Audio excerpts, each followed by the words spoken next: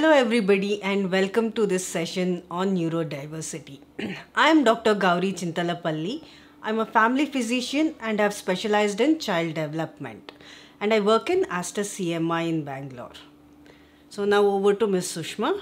Hi everyone, my name is Sushma Gopalan. I work as a child life specialist in Aster CMI.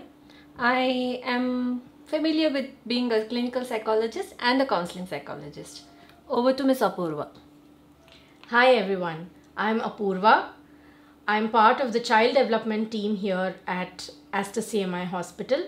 I work as a psychologist. Can we start off with the session? Yes, thank you so much. So, we are nowadays hearing a lot about the term neurodiversity, and it's a very commonly used term. We hear it in a figure of speech, we watch it in TV, we see it in we read it in papers, so many. But what exactly is neurodiversity, and why are we taking it as something which is different? So, I would like Dr. Gowri to answer the basic topic as to what do we mean by neurodiversity. So, to understand this, let's go back to our history from the time of evolution. If you go to a prehistoric, historic, there is so much we have evolved uh, from that time, and we are still evolving. So that is why these terms you're you, you're hearing it now more often. So with times we have evolved. With evolution, we have made changes around us. We are adapting. So we have to adapt for our survival and with this comes this new changes so if you even look into two or three decades back and to now there was no computers there was no gadgets and we knew work was work. When we come home we didn't have gadgets. We weren't working or we weren't hooked on to this social media and everything. Now times have changed. So now we need to see what all this is doing to us how it is changing us. So from then to now the family dynamics has changed. From joint families we are becoming nuclear families so the burden of how much we have to manage is increasing. With that comes the type of lifestyle we are leading. Now moving on to the word neurotypical. So neuro means anything related to the brain and nerves. Typical you all know. It is like how it is normally uh, what we find naturally around so neurotypical means what we have in our mindset as what is normal or within the normal range so everybody is different so we cannot say this person is neurotypical this person is not just by comparing two individuals so it is about the normalcy among most of the people so that is neurotypical so if there is typical, there is divergent. So there is a term called neurodivergent. Divergent means away from typical. Being neurodivergent or not being typical doesn't mean there is a problem. When we are seeing more and more people now with these uh, labeling as neurodivergent or having these conditions, it doesn't mean uh, they are abnormal. That is why this thing of neurodivergence has come into picture. It basically means we are all different. The way we look at each thing is different. Like if you're standing at different sides of the number 6 one perceives it as 6 the other perceives it at 9 so the way the brain is functioning analyzing things uh, and uh, reacting may be different for the same situation. And how do we put this together and work around with each other to make it normal is what is all about neurodivergence Okay, to so to sum it up, it is basically saying there is no one right way. Right? Yes. So all of us are different and it is how we take each other. And it is just becoming aware of each other's uh, plus and minus. That's it. So we understood what is neurodiversity, but I would like to understand from where it all started. Getting to the root is very important. So what is the root of neurodiversity? The term neurodiversity was coined by Judy Singer. It started off as a term that encompasses different cognitive functions. Each of our brain, like fingerprints, are not alike. We are all developing differently, and therefore we have different cognitive functions. The term neurodiversity is now used broadly to include many conditions such as autism spectrum disorder and others. The term now is also being used uh, in organizations and workplaces where neurodiverse individuals are being hired.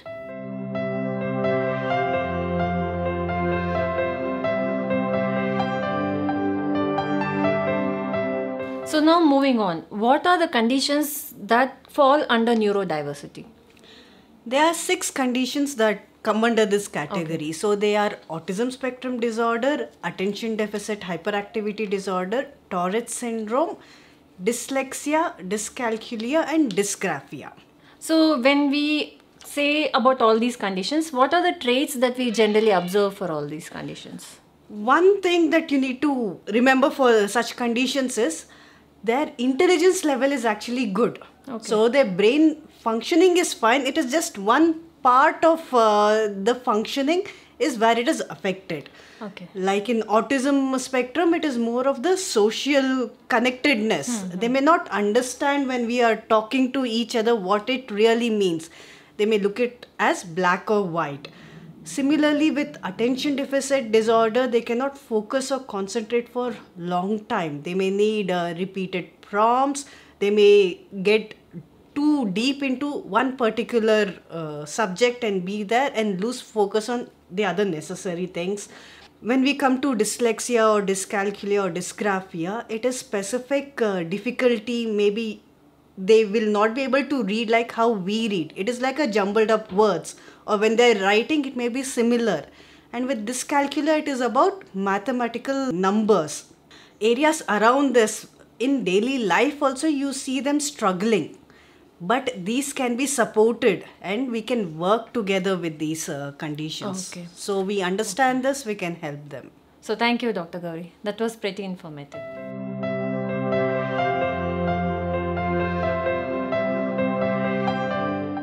so now we have seen an overview of uh, what uh, comprises neurodiversity now moving on to what are the challenges these uh, people face so ms sushma do you want to say Yes, so we have spoken about different conditions, and now we are going to just break down the conditions and the issues or what they might face. For example, a person with dyspraxia, they might have difficulty with planning, okay, movement, or anything which might require a little bit more of the time investment.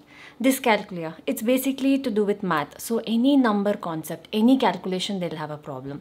Dyslexia is basically to do with words. So, there'll be problems associated with reading and writing. ASD, it's a huge spectrum. So, anything to do with social and communication, they will have an issue. Tourette syndrome, it's any kind of physical or uh, verbal tics that they might face. So, all these, when it encompasses, different individuals might show different levels of difficulty. ADHD, so they can be either hyper or they'll be too focused. Again, the conditions are varied. So, it depends from person to person. how do you think they can cope with these challenges Okay. So it depends when it is identified. If it is early, probably the family can help with time management, being more uh, routine oriented, schedule oriented, uh, amount of creativity, initiating different kind of tasks, being more resilient, teaching a child to be resilient. When they become an adult, again the external atmosphere can be changed so that a little bit of positivity can come into the person how the atmosphere treats that person coming up with different plans seeing to it that whatever shortcoming the person feels he or she might have the person might not have actually but can feel they might have how to help them with that can also help an individual So you're saying you can actually plan things ahead. yes Have some schedules Exactly. or uh, sticky notes or Yes. if they're gadget friendly they can Yes. have to-do list. Yes. There's so many things out there. basically If you yes they understand they Yes. can work around Yes. their difficulties. Exactly. It is just a point of being empathetic, being a problem solver, and being logical at the same time.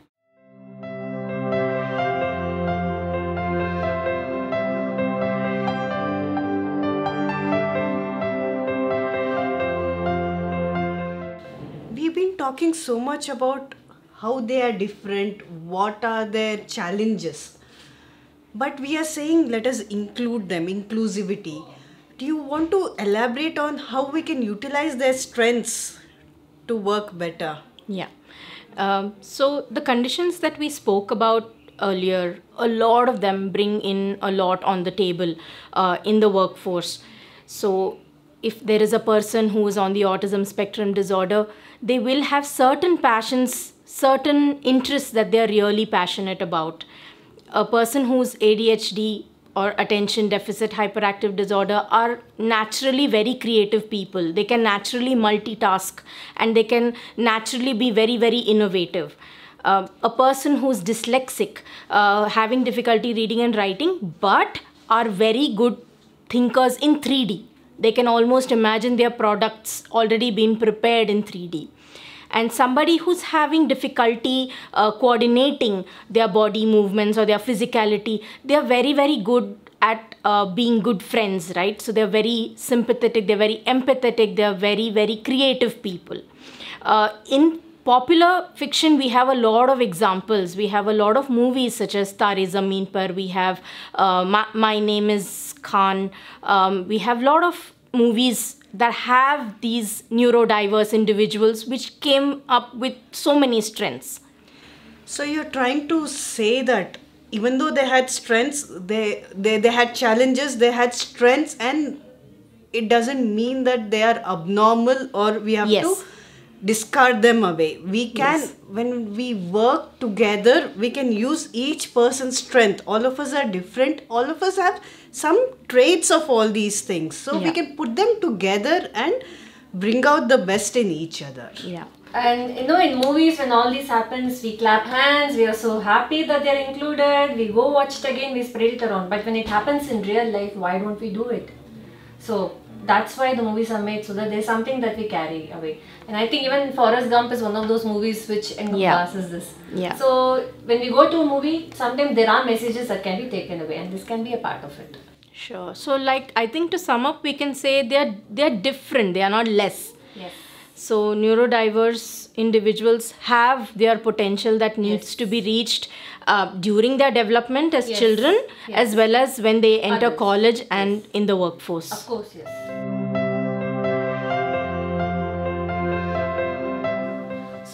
Have spoken about so many pointers. Now I would like to ask what are the risk factors or challenges that are associated with a neurodivergent individual? one of the challenges is related to mental health uh, Yes. issues Yes. when they find this constant challenge of not able to do something or understand they may feel left out or go back so they may withdraw in within themselves sometimes it can come out as frustration so that is external they'll show it outside they are at a bit more higher risk of going into depression, having anxiety. It can affect their confidence or self esteem. This is important for others around to understand Yes. and support these uh, children. That is one of the challenges. Okay. to add on, I think the other challenge that they have is underemployment or no Of course, employment yes, at all. Yes. Um, because though their intelligence is good, uh, they might not even uh, pass your interview stage at an organization because simply because they can't be social or they can't articulate what they are thinking or they may uh, not do too well in the written entrance uh, tests that they have at organizations. Of course, yes, yes. So underemployment or no employment is, I think, again one of the challenges that's present. Yeah. And to add on to that, I think even relationship uh, challenges are something that they have to face. So we have see when we are talking about social interaction, it is inter and intra also. So they might have problem or uh, challenges in addressing their family members or how they might take them up. Um, challenge in making friends, peer relationship can get affected. So what's happening is we are asking people to be sensitive. We're asking people to be sensitive to others, but wha- what we see is people are becoming sensitive to themselves. So that gap has to be filled, and when these are addressed, not just a neurodivergent individual, even a, a neurotypical individual will benefit from that. So you're trying to say, let us make it a normal Yes. thing. Let us put out our feelings to each other so everybody understands they go through similar things. So it is normal to go through it. We don't need to hide it and suffer inside. And be sensitive to others, not to oneself. So you be sensitive for another person, not for yourself. You know, that's all. Yeah.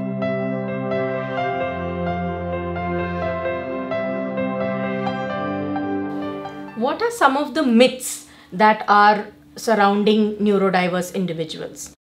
One of the thing is they don't have emotions. Does this mean you can say anything to them? Whatever you feel like. Okay. Also, does it mean that they don't want friends? They like to be left alone. So you don't interact with them because you feel or you assume that they like to be alone? Do you think they procrastinate a lot? Do you think it is deliberate? Okay. And do you think that they're arrogant, they're snobbish, they don't want to interact, they don't want to mingle, they don't want to associate themselves with you? What could it be?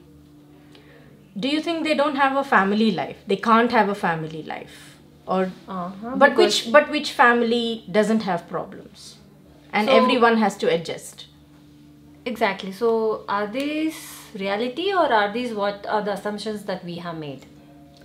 That is something to ponder upon. Yes.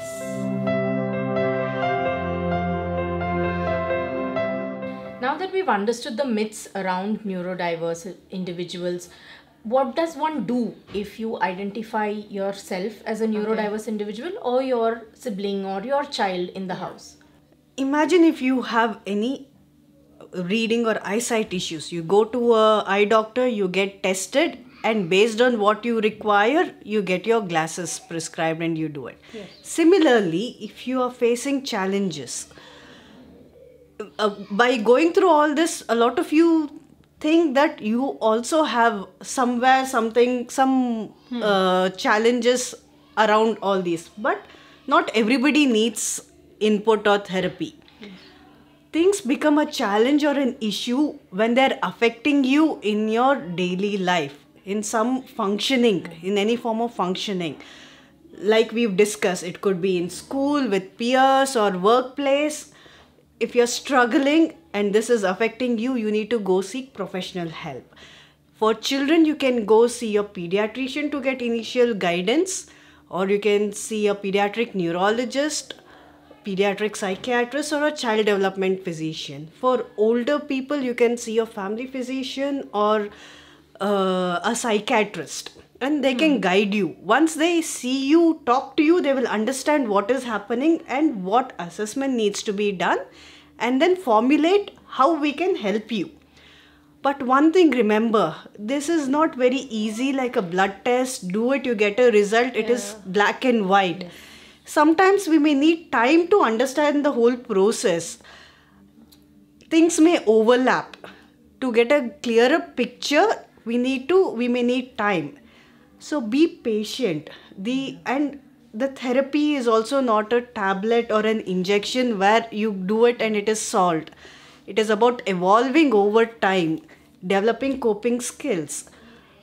When you're directed uh, to the therapist go see them work with them and then you can actually see uh, good results it is very important in your children if you start seeing this to start then itself because at that root level where they're growing if the base is made strong resilient with coping skills as adults they can do much better Okay. So we are saying we have to identify the red flags. Yes.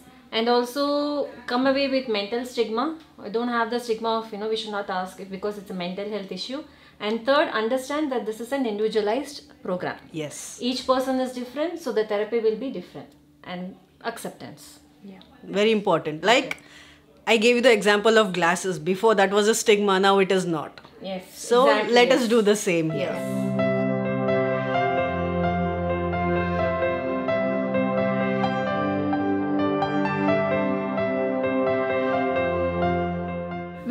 Speaking a lot about trying to include neurodiverse people. What exactly do you mean by being inclusive? Okay. Inclusive is for everyone. So it means to embrace all kinds of people. So for me someone else might be different. They have to be different. So it is not just applicable to neurodiverse per person. It is for everyone. So you're embracing everyone for what they are or who they are. There is no discrimination. There is equal access equal opportunity given. There is equal treatment. You are treating another person as a human being accepting them with all their strengths weakness everything. Because when we meet a person we have a certain expectation from the other person and when that expectation is not met we label them. So why do you meet someone with an expectation? Be an open mind. Accept them as who they are. So at that time all this labeling will be of no matter. That is what is inclusiveness. To just accept the other person as they are and a lot gets reflected in the tone that we speak Of with course, the language yes. the words that we use a look A one look. look, Yeah. you know it's just a look but it carries a ton of message Sure. So we have to be sensitive in Of our body yes. language around Yes. people, Yes. the tone that we use, the words that we use. yes Yeah. our intolerance to certain things so when we manage all that inclusivity comes automatically yes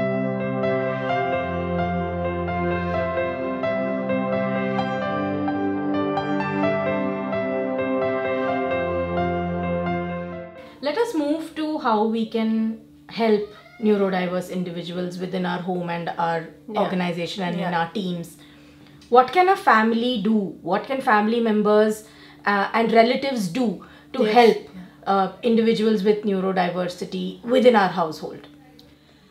we have looked into how the these people struggle so creating uh, spaces they may feel very overwhelmed when- too many things are uh, expected for them to do. Okay. sharing what can be done. Having a little breaks. If it is getting too much it is okay. Just step out. Breathe for a minute. Come back and do it. Or if you just want to pace up and down for a minute it is okay. You will feel more relaxed. You can come back and focus again and go back to the task rather than sitting in one place wanting to finish it getting overwhelmed and not doing a good uh, job Okay. To add to that, I think they also need opportunities to practice social communication. Whether it is to communicate emotions, whether it is to communicate uh, a difficulty or a problem or a conflict that they are undergoing, whether it is to communicate a request or asking for help. I think they need to have family members encourage these skills within the household, isn't it? yeah and for both of this to happen there has to be acceptance in the family and the extended circle. Because nothing will happen if there is no acceptance and the inclusivity that we are talking has to be there. It starts from the family. Right. so when that acceptance factor is there things do fall in place So we need to kind of create that atmosphere so they mm-hmm. feel okay, they can open up, Yeah. they can share, yeah. And we can have a time, a family time, which we are losing out. What we used to do before, mm. sit together and eat, or just have a time you go out, just you're being without gadgets also. Yeah.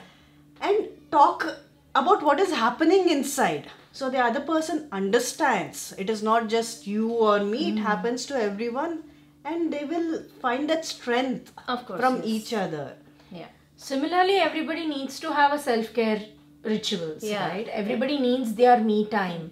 Uh, everybody needs to have um, something to help their physical strength, their physical stamina, some ritual or activity to take care of their mental health. So, self care rituals in place for all members within the household, I think, again, will help them to cope with help, will help each member of the family cope. and everything starts from the family. The root is the family. So how a child is made to feel at home is what is going to be reflected outside be it a child or an adult. So how accepting they are at home how normal you know we label normal so much but none mm-hmm. of us are also normal so how normal they are treated at home is also a matter to be concerned about. So they have to feel that acceptance yeah. Yeah.